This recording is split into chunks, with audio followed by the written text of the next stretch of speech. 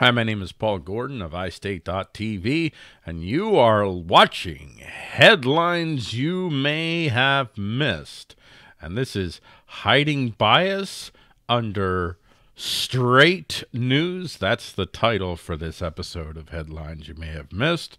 And the date there, as you see, if you're watching the video version, you're not listening to the audio, is Thursday, January 11th, 2018. In this episode, we're going to be talking about the subtle bias weapon, Turkey throws a tantrum, the 7 Eleven raids, BuzzFeed sued, drink on Sunday. Yay! Iran instability and more on this episode of Headlines You May Have Missed.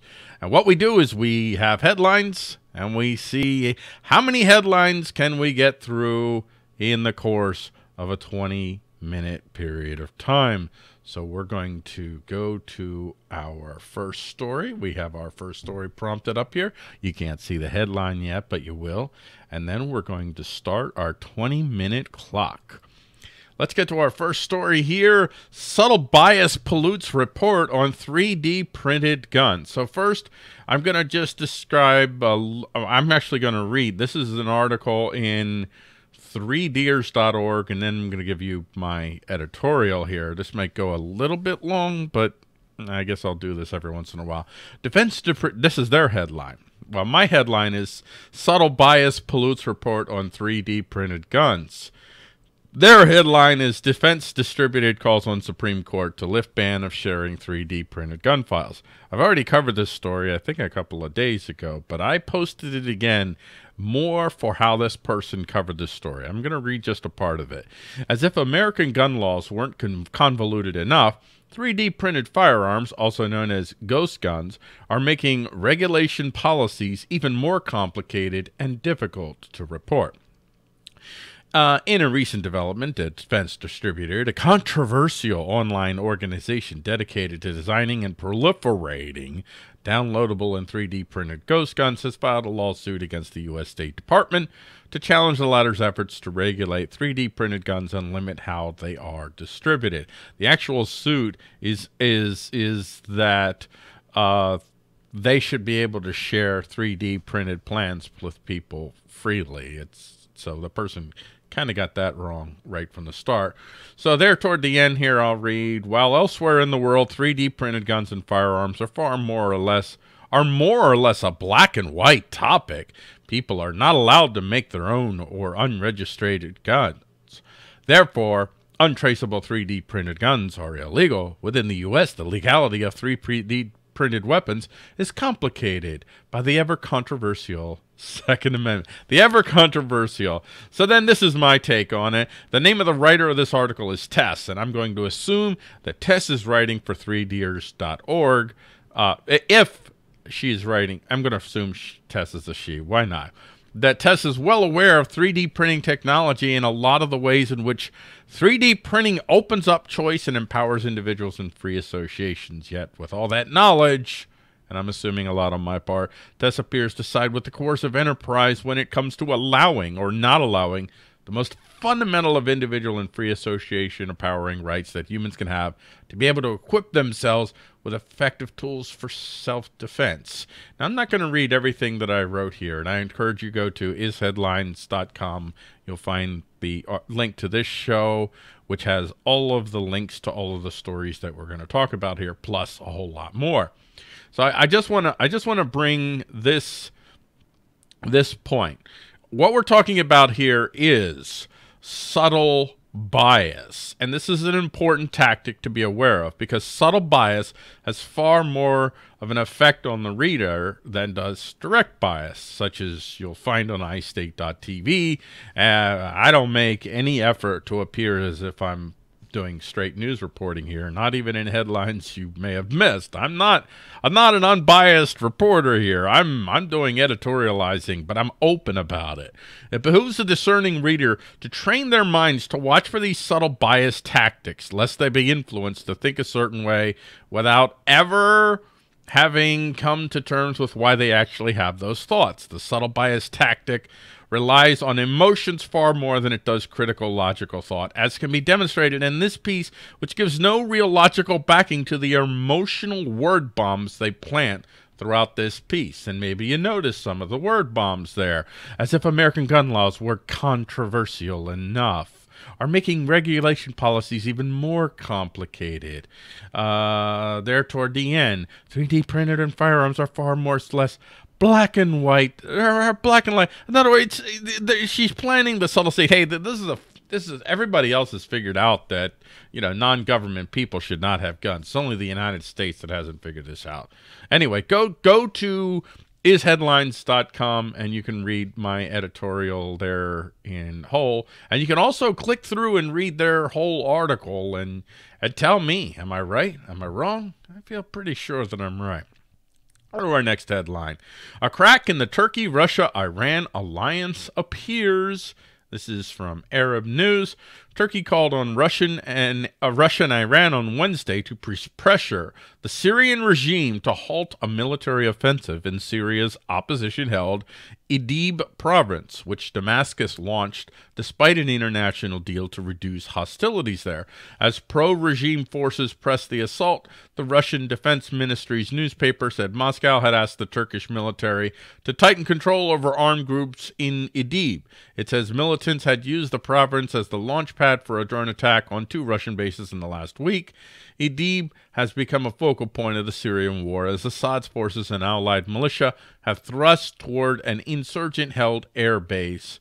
Idlib, bordering Turkey, is the largest single chunk of Syria still under control of opposition groups fighting President Bashir Assad. So keep paying attention to that. I think uh, on uh, is daily on Monday, uh, Professor Rambo and I, we talked about what's going on in the Middle East and how the alliances are forming, and it seems to be centered around Russia, China, the U.S. But even those alliances, there's there's conflicting in, interest within those alliances. So those alliances, some of them are more shaky than others. Let's get to our net headline over 100 7-Elevens raided nationwide by ICE. And this is from the Review Journal. U.S. Immigration and Customs Enforcement officers arrested 21 suspected undocumented employees Wednesday at 7-Eleven at a 7-Eleven franchise or at 7-Eleven franchise locations across the country, including in Nevada. The arrest, which are administrative I don't know what that means, and require those arrested to appear in immigration court were part of an ICE sweep in which the agency served 98 7-Eleven convenience stores with audit notices, a tool the agency uses to monitor whether stores are hiring undocumented workers. It was not known how many locations in Nevada were served. Today's action sends a strong message to U.S. businesses that hire and employ an illegal workforce. ICE will enforce the law, and if you are found to be breaking the law, in other words, you fall into a category that makes you quote unquote illegal, you'll be held accountable. ICE Deputy Director Thomas B. Homan said in an emailed statement Wednesday. Derek Benner, a top ICE official, told the Associated Press Wednesdays that Wednesday's operation was the first of many and a harbinger of what's to come for employees. So the crackdown on people who are living here in America and trying to live their lives that have been deemed illegal by my laws is is only going to increase. I can get to our next headline. Trump's personal lawyer sues BuzzFeed, and this is from NOLA.com. Donald Trump's personal attorney, Michael Cohen, said sued BuzzFeed Inc. on Tuesday for defamation over allegations about him in a dossier the news organization published that was commissioned in 2016 by the president's political opponents, Hillary. Cohen said he also, oh, by the way, that dossier does appear to be the basis for the spying on the Trump administration as well. So they took a dossier that was paid for by Trump's opposition, and they used that dossier to justify spying on the Trump administration. Cool. Cohen said he also, and, and that was sarcasm, by the way. Cohen said he also filed a second defamation suit against political intelligence firm Fusion GPS, which compiled the dossier in federal court. BuzzFeed published the dossier in its entirety nearly a year ago, which it said it obtained, obtained from a source it didn't identify. The dossier contains unverified claims that Cohen and Trump had suspicious connection with Russian figures. Uh, most other U.S. organizations declined to publish the doc document uh, because of many of its claims, some of them salacious, haven't been substantiated. It will be proven that I have no involvement in this Russian collusion conspiracy, Cohen said in an interview Tuesday. My name was included only because of my proximity to the president. Now, I got to tell you that uh, from my perspective, uh, I'm I'm somewhat enjoying the internecine nature of the government right now as I see it turn on itself as operatives in different camps are being forced, being flushed out and finding themselves being much more overt in how these camps uh, attack one another. It really shows you the nature of of government in and of itself. It's a it's a power center that attracts power people, and power is not necessarily a bad thing in and of itself. But uh, these folks, they don't they don't understand. Well, I say they don't appreciate reciprocal power, maybe as as much as I do. They don't see the usefulness of having neighbors that maybe won't want to someday stab them in the neck. They probably believe that they have the power to do whatever they want to their neighbors, and their neighbors won't be able to stab them in the neck. Well, on to the next headline. Indiana considering allowing people to buy alcohol on Sundays. Oh my gosh, so wonderful. Apparently, the Crown is pleased, at least in Indiana, to allow you to finally buy and sell alcohol on Sunday. Well, well, well, hold on, hold on, folks. Let's not get ahead of ourselves. Not yet. The bill was introduced in Indiana State Senate and will soon hit the Senate floor after it passed a major hurdle, making it out of committee. Yesterday, January 11th, 2018, the bill was voted out of the Senate's Public Policy Committee by a vote of 9 to nothing. Not one member of that Senate committee chose to tell the people of Indiana that the Crown was not pleased to have them buy or sell alcohol on Sunday. Oh, I wonder why that is. They decided, hey man, maybe we should stop being dinguses in this in this particular regard. Not in all regards, just in this particular regard. We're going to undingus ourselves. The people of Indiana thank you, nine crown representatives, for choosing to set the potential for the crown to definitely say, hey, we are now pleased to allow you to buy and sell this certain thing on Sunday. You're welcome. So thanks, Crown. Thanks for giving us hope. See, the system works. By the way, that that uh, sarcasm mode had been activated at that moment, and hopefully you picked that up. Get to our next headline: Is the Iranian regime falling apart? So I chose this story, maybe not so much because I. I'm not sure the degree to which this is true or not. Just the, the narratives that are are being pushed right now, and it's it could very well be true. It could very well very well be the little uh, self fulfilling prophecy that they're hoping gets in the hearts and minds of the Iranians who might throw overthrow this one horrible regime so that they can usher in a, a new horrible regime that maybe will be a little bit more friendly to America and whatnot. But be that as it may, this is the report from Jerusalem Post. Uh, not a biased source at all. That was sarcasm again. The labyrinth of proxies maintained by the Islamic Republic and the chasm of oligarchs' pockets are costing so much that the toil of the Iranian working class cannot even produce basic food and shelter for their families. This time, a new element has been added to the whole equation. It is not only the middle class university students and a group of elites that organized these protests, put on their masks not to be identified, and gushed that's their word gushed into the streets. This time, the spate, uh, the spurt of protesters is formed of the working class, was nothing left to lose. The working class who share of the pie goes to proxy wars and wrongdoers abroad. That kind of sounds like here. Okay, just go on, Paul. Come on, ignore that. That's that's wrong, Paul. That's wrong. It has been many days to in many days in a row. I, I think they're missing an A there. It has been many days in a row that the government has been organizing pro-government demonstrations. This level of continuity of such demonstrations is unusual, even during the anniversary of the revolution. And I encourage you again to go to isheadlines.com. You'll find the archives of the shows, and then you can find the link and read more at, at, at Jerusalem Post and see if you can identify the the sentences, the claims that maybe don't necessarily seem unsubstantiated, or maybe you're wondering, how do you know that? Well, let's get to the next headline. And the next headline is AI driven news coming to China. This is so cool.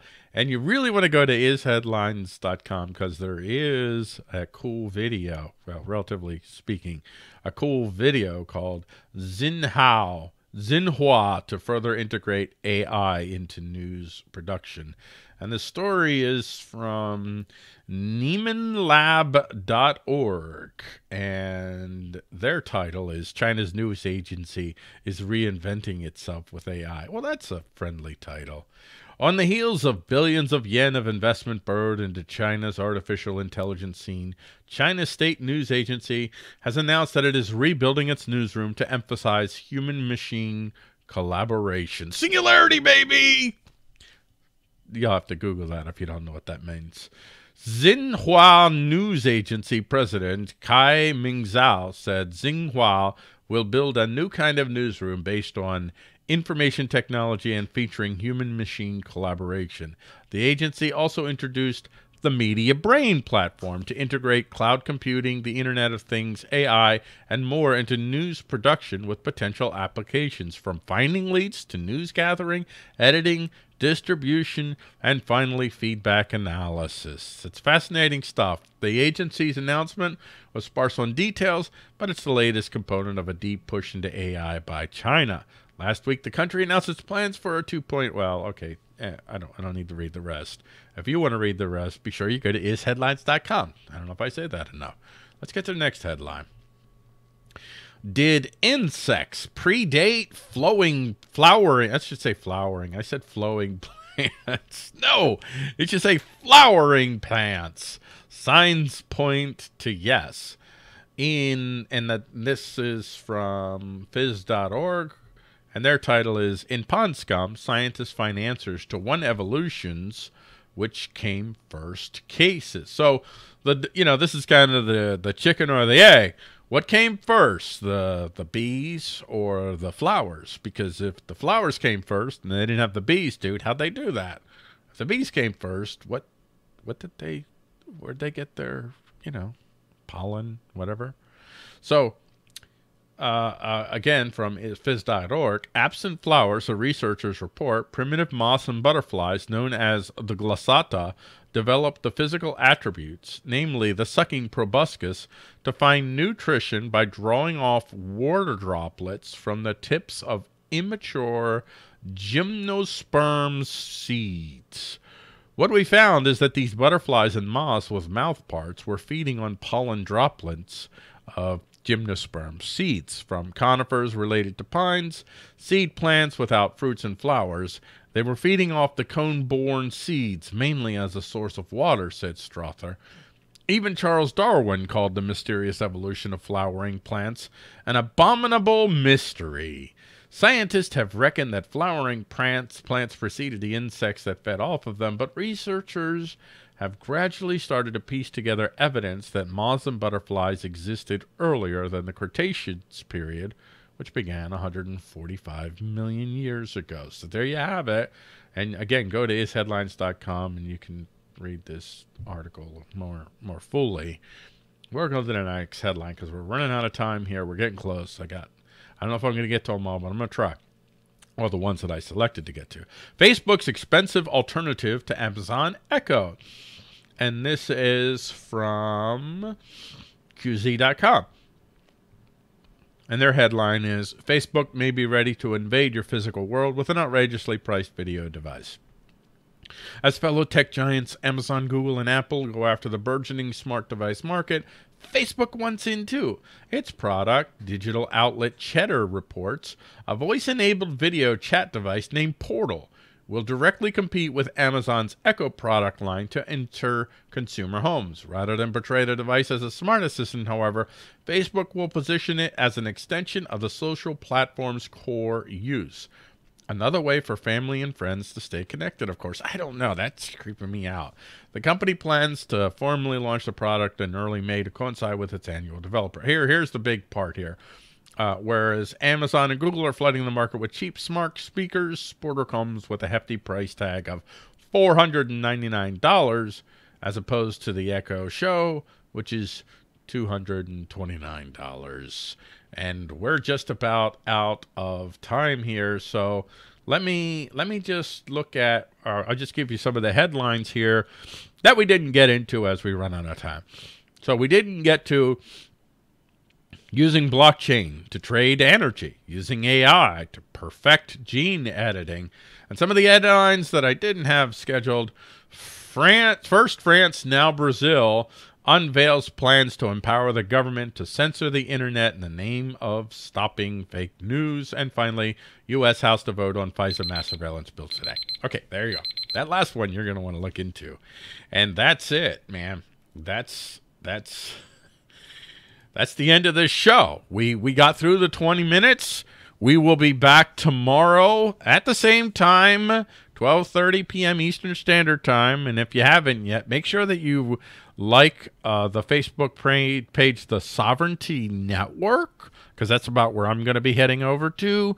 And you can watch Crypto Corner live with uh, Kurt Wolker Jr really cool show. I enjoy it, so I promote it. I don't get paid to promote the show, and I'm not directly affiliated with Sovereignty Network. I I just think it's a cool show that a lot of people who really want to learn crypto. It's a great, great show. You'll learn a lot. And outside of that, join me tonight as we have iSDaily Thursday with Lou Sander as as the co-host tonight. He's the Thursday co-host with me, and he's also from the Freedom Fiends. Uh, he just did a show last night on Freedom Fiends, which hasn't posted yet. I'm waiting for the show to post, Lou, so I can listen to it. But join us tonight on the Liberty Principle Facebook page at 9 p.m. Eastern Standard Time as we look at the shorter leash, the longer leash, and off the leash, which is something we do every every Thursday. So I'll see you guys tomorrow afternoon and also uh, well tomorrow afternoon on headlines you may have missed and also to well tonight at 9 p.m on iSDaily Thursday.